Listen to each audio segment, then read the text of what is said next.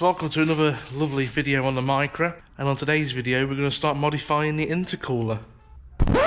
Hello, so I'm currently editing this video and I can't find the piece of footage which slots in in between these two clips so here it is. Um, so we're basically going to fabricate two separate end tanks on the intercooler. So, so we're going to split the intercooler roughly 70-30%. Um, the bottom 30% is going to be dedicated for the supercharger. The upper 70% is going to be dedicated for the turbocharger. So we're going to fabricate two separate end tanks. So the, the end tanks are going to look a bit weird, but it'll all make sense once I'm done with it. So um, yeah, back onto the video.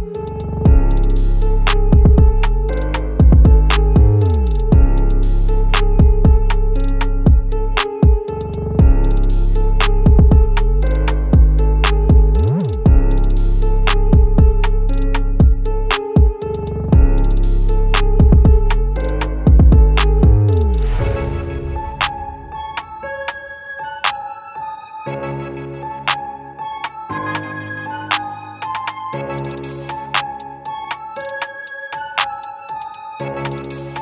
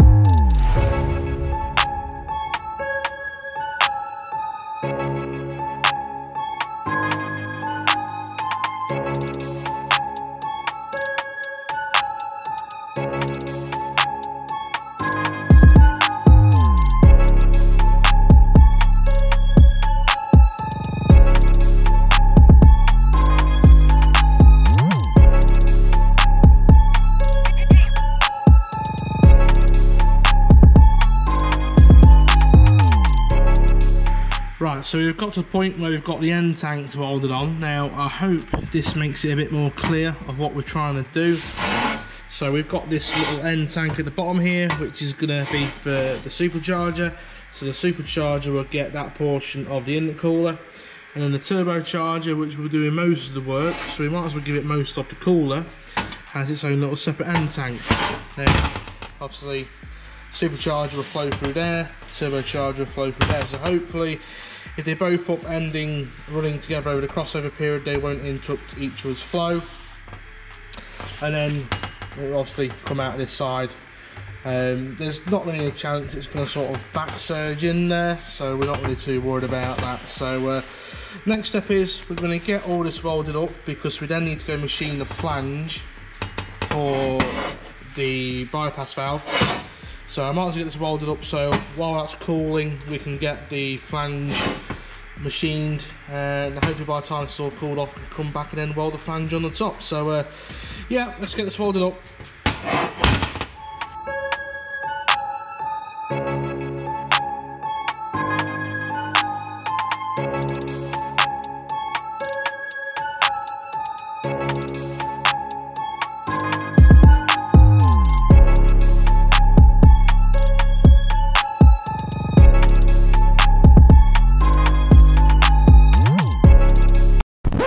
So we are not having a good day today. Uh, another piece of footage that again I remember recording yesterday isn't there.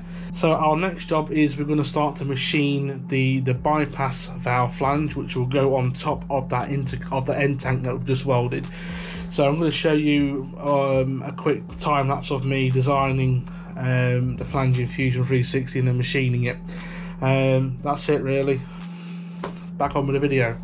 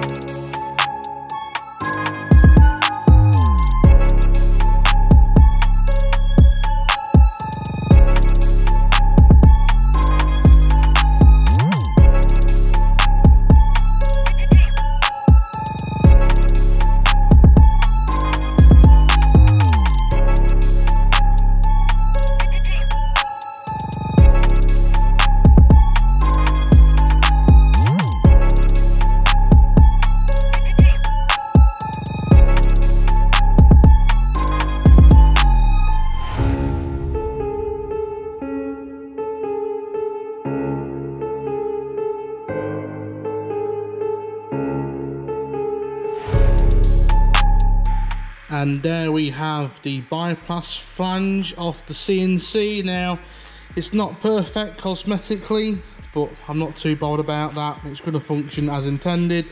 We've just tapped out the holes to M6. So all it remains to do now is weld this onto the top of this end tank. And that should be this intercooler all sorted. Um, I've also put in a little O-ring groove there.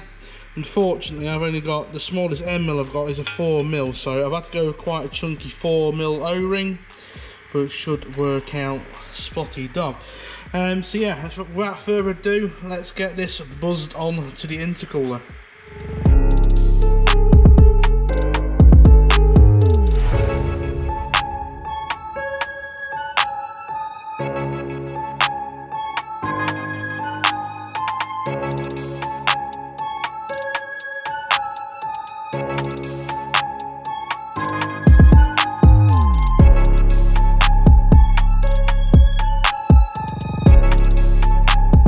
So that's come out as I expected. So we've got a lovely bypass valve on there. We've got our uh, flange machined up that we did on the little CNC here.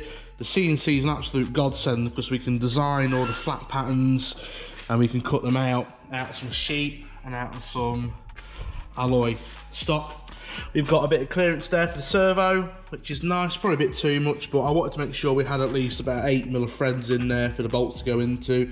Um, so yeah, really happy about it's come out. Um, I also welded on a little barb, little beaded section just there for the supercharger. Now, now the last thing to tackle is the cold side of the intercooler. And I really wanted to use a two inch cast elbow, similar to these, but two and a half inch. Unfortunately, I thought I had one. I haven't got one in stock, um, but that would have done that job there just perfect. Um, I've had a quick look at some suppliers and it appears no one's got one in stock. So rather than wait a couple of weeks to get one from somewhere abroad, I'm gonna I'm gonna use this just traditional two and a half inch intercooler bend. I'm gonna sort of chop into the leg here um, and just we'll use this basically. Um, I've got no option. I need to get this done. So uh, yeah, last task and then this job's done. So let's get this marked up let's get it welded on.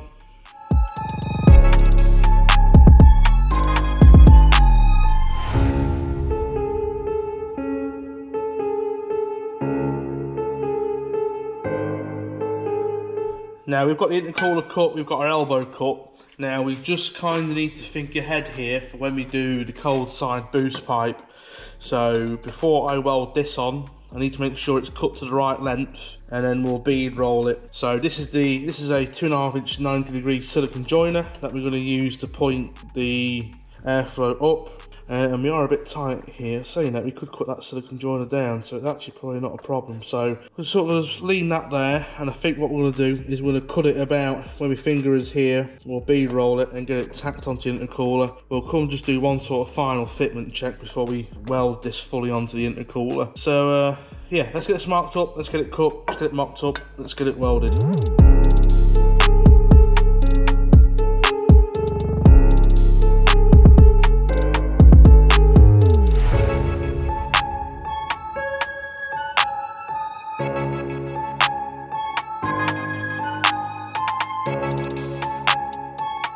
Go, we've got it tacked on.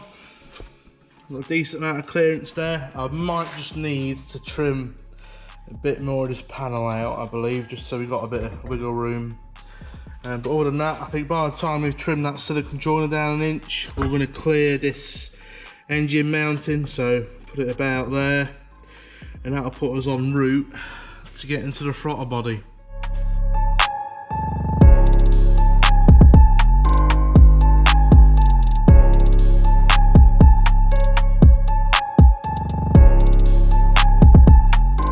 We go. We've got it all welded on. We've got uh, plenty of clearance down there now. Enough room to get our silicon on with a hose clamp. Just need to obviously trim that down. I know I've mentioned that about three times now. Now we're not going to do any of the hot side or cold side intercooler pipe work. In this video that's going to be a whole different video in its own because we're going to need quite a bit of work to do in that such as obviously fabricate and machine the outlet for the supercharger.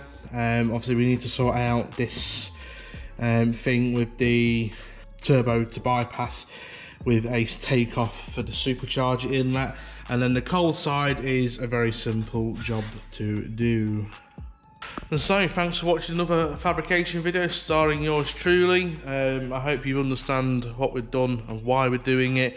If you don't pop a comment down below. I'll answer it. Um, so yeah um, we're going to leave this, this video here. So thanks for watching and we'll see you in the next video very shortly